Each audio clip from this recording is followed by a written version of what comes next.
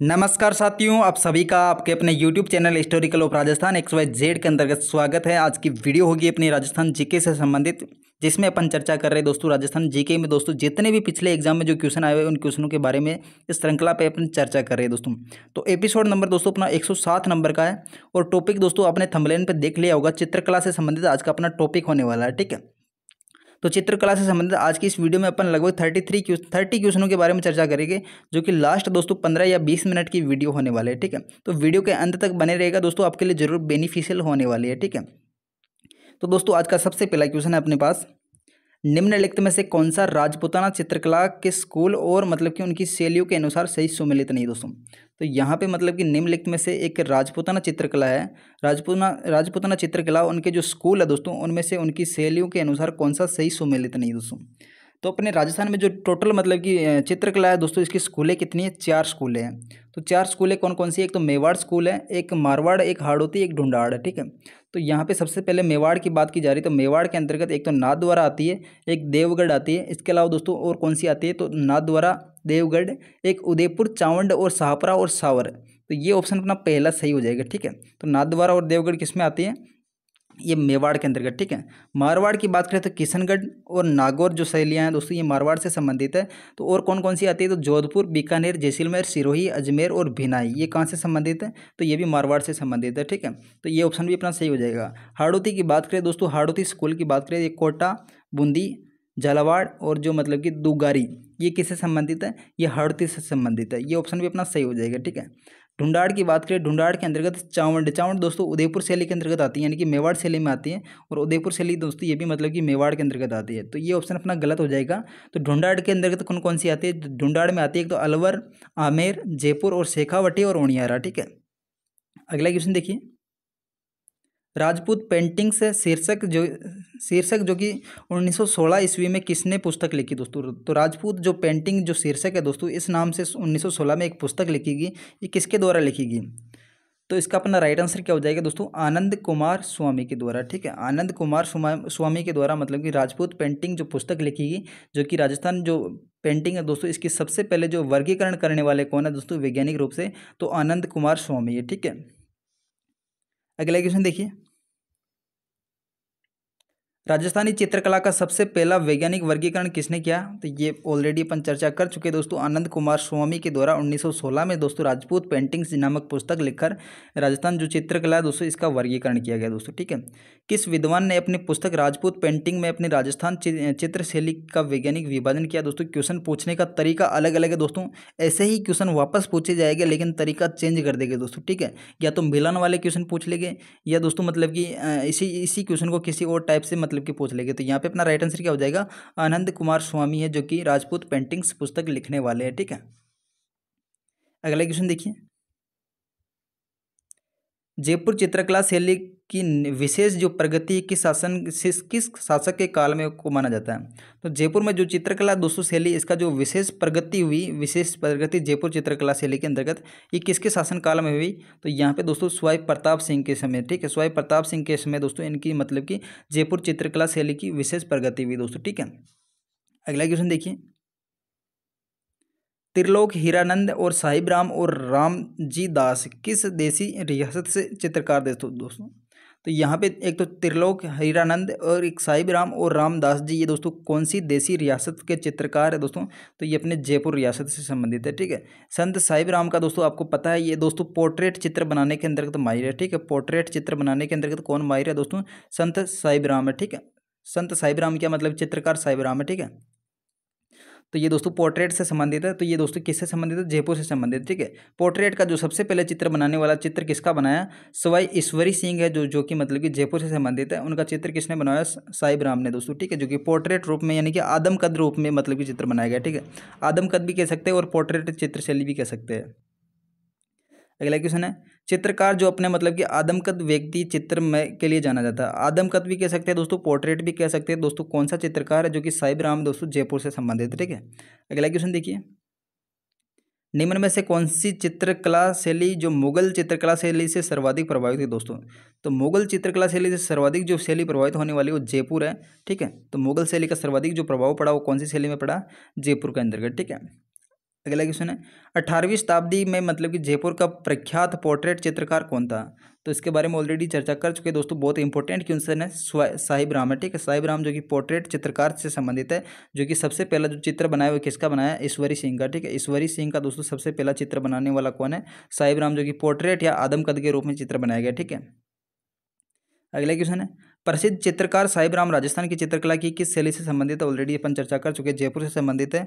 अगला क्वेश्चन देखिए किस चित्रकला शैली में पुरुषों के चेहरे पर चोट व चेचक के दाग प्रदर्शित किए जाते हैं? तो यहाँ पे दोस्तों ऐसा कौन सा मतलब कि शैली है, चित्रकला शैली है, जिसमें मतलब कि जो पुरुष होते हैं, उनके चेहरे पर चोट और चेचक के दाग प्रदर्शित किए जाते हैं? तो जयपुर जो शैली इसमें दोस्तों ये विशेषता होने वाली है, ठीक है? जयपुर शैली की ये विशेषता है दोस्तों, ठीक है? अगला क्वेश्चन देखिए। मोहम्मद शाह और साहिब राम किस राजस्थानी शैली से के प्रसिद्ध चित्रकार हैं। तो ये मतलब कि मोहम्मद शाह और साहिब राम किससे संबंधित दोस्तों? ये मतलब कि जयपुर से संबंधित होने वाले हैं, ठीक है? और जो जयपुर की जो चित्र शैली है दोस्तों, इसकी जो विशेषता है दोस्तों, विशेषता क्या है? एक तो मतलब कि जो पुरुषों के चेहरे होते हैं, उन पर मतलब कि चोट या चेचक के दाग लगाए जाते हैं, ठीक है? और यहाँ पर जो कुरान पढ़ती हुई शहजादी का मतलब चित्र बनाया गया और फ़कीरों को भिक्षा देते हुए मतलब कि जो चित्री है, उसकी मतलब चित्र बनाया गया और यहाँ पर मतलब कि जो हाथियों की लड़ाई है दोस्तों, वो भी कहाँ से संबंधित जयपुर से संबंधित है। और उद्यान दृश्य दोस्तों, ये भी कहाँ पे? जयपुर से और काम सूत्र या वृक्ष कौन कौन से है? तो पीपल और वट जो वृक्ष है दोस्तों, जयपुर चित्रशैली से संबंधित होने वाला है, ठीक है? अगला क्वेश्चन है, कोटा के किस शासक के काल में शिकार के दृश्य कोटा चित्रकला शैली की विशेषता बन गई दोस्तों? तो कोटा के किस शासक के काल में दोस्तों जो शिकार जो शिकार के दृश्य है दोस्तों कोटा तो चित्रकला शैली के अंदर की एक विशेषता बन गई। शिकार के दृश्य दोस्तों, एक कोटा शैली की विशेषता बन गई है। तो ये किससे संबंधित है? तो यहाँ पे अपना राइट आंसर क्या हो जाएगा? ये अपने राव उमेद सिंह के संबंधित है, ठीक है। राजा जो उमेद सिंह है दोस्तों, इसके काल में एक शिकार के दृश्य सर्वाधिक बनाए जाने, जाते थे दोस्तों, ठीक है। अगला क्वेश्चन है कोटा के किस शासक के काल को कोटा स्कूल की चित्रशैली का उत्कृष्ट काल माना जाता है? तो यहाँ पे अपना वापस राइट आंसर क्या होने वाला? सवाई उमेद सिंह प्रथम के जो शासन काल है, इसको मतलब कि कोटा शैली का चित्रशैली का मतलब उत्कृष्ट काल या स्वर्ण काल माना जाता है, ठीक है? नारियों द्वारा शिकार शिकार चित्रण किस चित्रकला शैली की विशेषता है? तो यहाँ पे नारियों के द्वारा जो शिकार चित्रण किया जाता है उसको किससे संबंधित है? ये कोटा शैली से संबंधित है, ठीक है? जो कि नारियाँ यहाँ पे मतलब कि शिकार करती हुई दर्शाई गई है, ठीक है? अगला क्वेश्चन है। कोटा चित्रकारी शैली मतलब कि विशेषता मुख्यतः है दोस्तों। तो कोटा चित्रकारी की मुख्य मुख्य विशेषता क्या है? शिकार के दृश्य दिखाए गए, ठीक है? जहाँ पे नारियों के द्वारा भी शिकार किए जाते हैं, ठीक है? बाकी हाथियों की लड़ाई दोस्तों जयपुर से संबंधित है, ठीक है? और उत्सव दृश्य की बात करें दोस्तों, ये उत्सव दृश्य ज़्यादातर जयपुर के हैं, उसके बाद बूंदी के आते हैं, ठीक है? अगला क्वेश्चन देखिए। बीकानेर चित्रशैली में किस बीकानेर शासक के समय मतलब कि उस्ता परिवार ने हिंदू कथाओं के आधार पर बनाकर मतलब कि बहुत चित्र बनाए? तो यहाँ पे जो बीकानेर चित्रशैली है दोस्तों, बीकानेर के शासक किस के, किस बीकानेर के शासक के समय उस्ता परिवार ने हिंदू कथाओं को आधार बनाकर बहुत चित्र बनाए? तो यहाँ पे मतलब कि जो शासक होने वाला कौन है? अनूप सिंह, ठीक है? औरंगज़ेब के समय जो अनूप सिंह जो शासक था दोस्तों, इसके समय मतलब कि जो दिल्ली में जो शासक थे, वो मतलब कि चित्र बनाने वाले, वो मतलब कि बीकानेर आ गए और मतलब कि जो हिंदू की, जो हिंदू कथाओं को आधार बनाकर यहाँ पे चित्र बनाते थे दोस्तों, ठीक है? तो यहाँ पे जो बीकानेर शैली है, इसका जो स्वर्ण काल किसका है दोस्तों? अनूप सिंह का जो समय है दोस्तों, ये मतलब बीकानेर शैली का स्वर्ण काल कहलाता है, ठीक है? चित्रकार अली रजा और अहमद रुकनुद्दीन और रामलाल जी किस चित्रकला शैली से संबंधित है? तो यहाँ पे अली, रजा, अहमद, रुकनुद्दीन और रामलाल जी, ये किस चित्रकला से संबंधित हैं? तो यहाँ पे अपना राइट आंसर हो जाएगा बीकानेर से संबंधित है ठीक है? अगला क्वेश्चन देखिए। निम्नलिखित में से कौन सा चित्रकार बीकानेर चित्रकला शैली से संबंधित नहीं है दोस्तों? तो यहाँ पे नहीं पूछा है तो यहाँ पे दोस्तों मोहम्मद मोह, शाह मोहम्मद, रुकनुद्दीन, अली, रजा, ठीक है? तो ऑलरेडी अपन ऊपर वाले क्वेश्चन में चर्चा करके आए दोस्तों तो यहाँ पे अपना सी ऑप्शन गलत होने वाला है, ठीक है? मनोहर, दोस्तों ये अपने बीकानेर चित्रकला शैली से संबंधित नहीं है, ठीक है? अगला क्वेश्चन है। चित्रकला के संदर्भ में निम्न में से कौन सा विकल्प सही नहीं है दोस्तों? तो यहाँ पे दोस्तों कौन सा विकल्प सही नहीं है? तो सालिग्राम, बक्साराम, नंदराम, ये दोस्तों अलवर शैली से संबंधित है, ठीक है? तीनों के तीनों दोस्तों क्वेश्चन पूछा जाता है तो अलवर शैली के जो संबंधित मतलब कि चित्रकार वो कौन कौन से एक तो सालिग्राम है, बक्साराम है और नंदराम है, ठीक है? अलवर शैली से संबंधित है तो पहला ऑप्शन सही हो जाएगा। अलग अलग पद्धति का सर्वप्रथम जो प्रारंभ अजमेर, आमेर से हुआ तो ये ऑप्शन भी अपना सही हो जाएगा, ठीक है? रघुनाथ, डालू और गोविंद राम कोटा से संबंधित ठीक है? डालू का नाम याद रखना, ये कोटा से संबंधित है, और रघुनाथ है दोस्तों, और गोविंद राम है, ठीक है? जो कि कोटा शैली के चित्रकार है। चौखेलाव जो मेल है दोस्तों, चौखेलाव बीकानेर शैली का संबंध नहीं है, ठीक है? चौखेलाव का जो संबंध है दोस्तों, कहाँ से संबंधित है? जोधपुर से संबंधित है, ठीक है? चौखेलाव मेल कहाँ पे संबंधित दोस्तों? जोधपुर से संबंधित है, ठीक है? तो ये अपना डी ऑप्शन गलत होने वाला है, ठीक है? अगला क्वेश्चन देखिए। उस्ताद कहलाने वाले चित्रकार के भित्ति चित्र किस नगर में बनाए गए दोस्तों? तो उस्ताद कहलाने वाले जो चित्रकार है दोस्तों, इनके भित्ति चित्र किस नगर में बनाए गए? तो यहाँ पे अपना राइट आंसर क्या हो जाएगा दोस्तों? उस्ताद की बात करते हैं दोस्तों बीकानेर में चला जाना सीधा सा, ठीक है? अगला क्वेश्चन है। नाथू मुराद रामलाल अली रजा चित्रकारों का संबंध किस चित्र शैली से रहा है दोस्तों? तो नाथू मुराद और रामलाल और अली रिजा। अली रिजी का नाम सुनना दोस्तों और बीकानेर में चले जाना, ठीक है? अली रिजा रुकनुद्दीन है, इसके अलावा और कौन से है दोस्तों? ये मतलब कि नाथू है, मुराद है, रामलाल है, दोस्तों किससे संबंधित? है बीकानेर से संबंधित है, ठीक है? अगला क्वेश्चन देखिए। असीर खा रुकनुद्दीन, चंदूलाल ये दोस्तों, अपन ऑलरेडी चर्चा करके आया दोस्तों, इस क्वेश्चन का राइट आंसर क्या हो जाएगा? रुकनुद्दीन है, चंदूलाल है और ये असी दोस्तों कहाँ से संबंधित? बीकानेर से संबंधित है, ठीक है?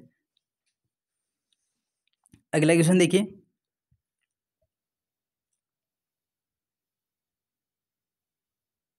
झालावाड़ शैली की राजपूत पेंटिंग किस राजपूत पेंटिंग स्कूल के अंतर्गत हिस्सा है दोस्तों? तो झालावाड़ जो पेंटिंग है दोस्तों झालावाड़ राजपूत पेंटिंग झालावाड़ की, ये राजपूत पेंटिंग कौन सी मतलब कि स्कूल के अंतर्गत आता है? तो यहाँ पे अपना राइट आंसर क्या हो जाएगा?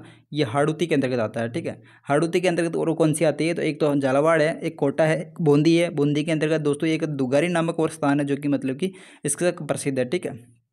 अगला क्वेश्चन देखिए। दुगारी किस से चित्रकला से संबंधित है? दुगारी अपने बूंदी चित्रकला से संबंधित हो जाएगी, ठीक है? जो कि हाड़ोती के अंतर्गत आती है। अगला क्वेश्चन है। किस चित्र शैली में पशु पक्षियों के बहुतायत मतलब चित्र है दोस्तों? तो यहाँ पे मतलब कि किस शैली में दोस्तों पशु पक्षियों के चित्र हैं? तो पशु पक्षियों के जो चित्र है दोस्तों, यहाँ पे मतलब कि बूंदी से संबंधित है। तो यहाँ पे एक तो ना, नाचता हुआ मोर है दोस्तों, यहाँ पे मतलब कि नाचता हुआ मोर है, जो कि बूंदी से संबंधित है, ठीक है? जो कि गढ़ पैलेस में दोस्तों एक चित्रशाला बनाई गई है। चित्रशाला का निर्माण किसने करवाया दोस्तों? उमेद, ये अपने उमेद सिंह के द्वारा, ठीक है? उमेद सिंह के दोस्तों चित्रशाला का निर्माण करवाया गढ़ पैलेस के अंतर्गत बूंदी में, जो कि एक पशु पक्षियों की चित्रकली शिला से संबंधित, जो कि बूंदी के अंतर्गत है, ठीक है? अगला क्वेश्चन देखिए। वर्षा में नाचते हुए मोर राजस्थान की किस चित्रकला शैली से संबंधित है? तो ये बूंदी से संबंधित है, ठीक है? अगला क्वेश्चन है। निम्न सभी शैलियों में ढूंढाड़ चित्रकला शैली के अंतर्गत आती है दोस्तों। सिवाय तो यहाँ पे मतलब कि कौन किसके सिवाय मतलब कि सभी शैलियाँ ढूंढाड़ के अंतर्गत आती हैं? तो ये बूंदी के अलावा दोस्तों जयपुर है, आमेर है, उनियारा है दोस्तों, ये किससे संबंधित है? ढूंढाड़ से संबंधित है, ठीक है? अगला क्वेश्चन देखिए। बूंदी राजमहलों में निर्मित चित्रशाला किस शासक की देन है? तो यहाँ पे दोस्तों बूंदी की महल है दोस्तों, राज राजमहल, जिसकी मतलब चित्रशाला बनाएगी जिनके अंतर्गत ये किसकी देन है? तो ये राव, महाराव उमेद सिंह की, ठीक है? महाराव उमेद सिंह के द्वारा एक चित्रशाला का निर्माण कराया गया, जो कि बूंदी के राजमहलों में स्थित है, ठीक है? अगला क्वेश्चन देखिए। बूंदी के गढ़ पैलेस में चित्रशाला का निर्माण किसके द्वारा करवाया गया? तो बूंदी में बूंदी में जो गढ़ पैलेस है दोस्तों, इसमें एक चित्रशाला का निर्माण करवाया गया तो ये किसके द्वारा करवाया गया? तो ऑलरेडी अपन चर्चा कर चुके हैं दोस्तों ये कहाँ पे? महाराव उमेद सिंह के द्वारा, ठीक है? तो ये थी दोस्तों छोटी सी वीडियो, अगर वीडियो पसंद आई हो तो वीडियो को लाइक कर दीजिएगा और चैनल को सब्सक्राइब कर दीजिएगा, ठीक है? तो चित्रकला से संबंधित अपने पास लगभग साठ क्वेश्चन और होने वाले हैं, ठीक है? लगभग साठ क्वेश्चन चित्रकला से संबंधित और होने वाले हैं। तीस क्वेश्चन के बारे में अपन ऑलरेडी चर्चा कर चुके हैं दोस्तों, ठीक है? तो मतलब कि कल चित्रकला का टॉपिक बना पूरा हो जाएगा, उसके बाद नया टॉपिक स्टार्ट कर देंगे, ठीक है? Thanks for watching see again